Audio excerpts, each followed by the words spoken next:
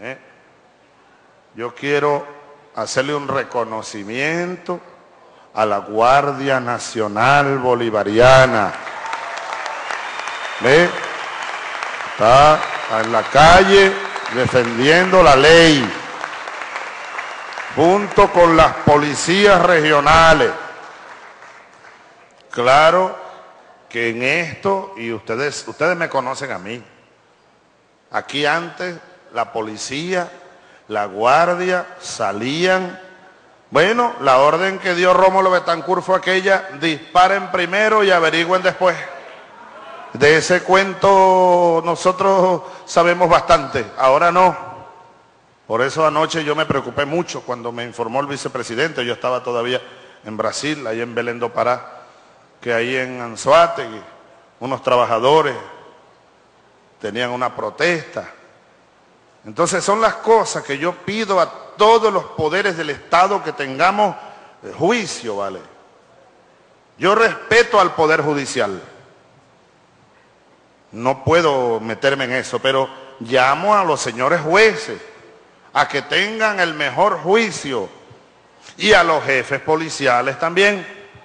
Entonces vino un juez en Anzuategui y ordenó desalojar a unos trabajadores de una planta de vehículos de una empresa transnacional. En primer lugar, yo soy de los que, en principio, si tú pones aquí a un gigante y pones aquí a, a un niño, tú pones aquí a un poderoso y a un débil, yo en principio siempre iré a defender al débil contra el atropello del poderoso. Este es un principio elemental de justicia. Entonces, cada vez que trabajadores, bien sea de empresas del Estado o del sector privado, hacen una protesta, uno tiene que ver con cuidado, con cuidado.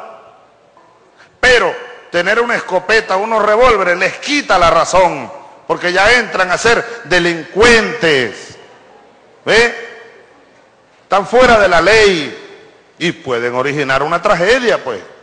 Ah, viene la guardia, la policía, le van a disparar. No estoy diciendo que este haya sido el caso de allá de Anzuategui, no. Hubo unos disparos.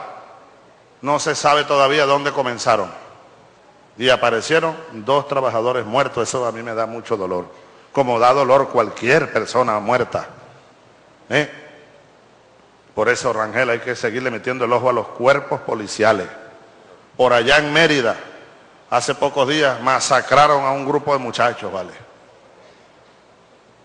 Que si los muchachos se habían robado un carro y andaban fumando marihuana, bueno, bueno, pero eso no es para matarlos. Hay quienes, unos policías, están presos, están presos. Y un funcionario de un cuerpo de seguridad nacional mafias, ¿ves? Que se meten, infiltran a los cuerpos policiales. Hay que batallar duro, esta es una de las luchas más duras que tenemos nosotros, la inseguridad, pero no podemos contribuir a ella. ¿eh? Entonces, esta gente, ayer andaba un personaje, de estos tristes personajes que pasarán a la historia como los grandes traidores de este proceso, dando unas conferencias. Ah, ¿qué está pasando? ¿Qué está pasando? Tengo todos los informes. Ellos mismos, ellos mismos lanzan unas granadas lacrimógenas. Una cosa que, imagínense ustedes que en un local como este, cerrado, alguien lance por allá por una ventana una granada lacrimógena, causa un pánico aquí, ¿verdad? Puede terminar hasta en un desastre, una tragedia. ¿Mm? Y luego sale el personajillo este diciendo que le hicieron unos tiros al carro de él, denunciando y gran despliegue por televisión. ¿Qué cosa, no? Mientras estaba allá adentro le dispararon al carro que estaba solo. Es un poco raro, ¿no? ¿No le parece a ustedes? le dispararon al carro. Sin duda es un formato claramente fabricado en los laboratorios de guerra psicológica de la CIA y de los comandos del Pacto de Puerto Rico. Nosotros no debemos caer en el triunfalismo. No, pero sí debemos saber que vamos ganando, como cuando uno está ganando un juego de béisbol, nosotros estamos ganando ahorita, yo le pondría 4, 4 a 3, le pondría yo. Entonces, ellos están fabricando jugadas como esa, están buscando, están buscando, y esto es, esto es delicado, porque algunos asesores que tienen les están diciendo que como el ritmo de la batalla se ha puesto favorable a nosotros y hasta una encuesta que no es, eh, eh, más bien es de ellos la encuestadora, es de ellos. En diciembre decía que estábamos perdiendo nosotros casi por 20 puntos y ahora dice que estamos arriba. ¿Eh? Ellos mismos, porque no, es difícil ocultar lo que está ocurriendo. Ahora quieren echarnos a nosotros la violencia.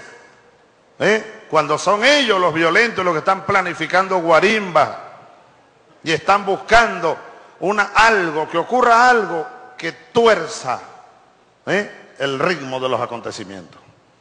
Así que por eso he puesto en alerta a todos los cuerpos de inteligencia.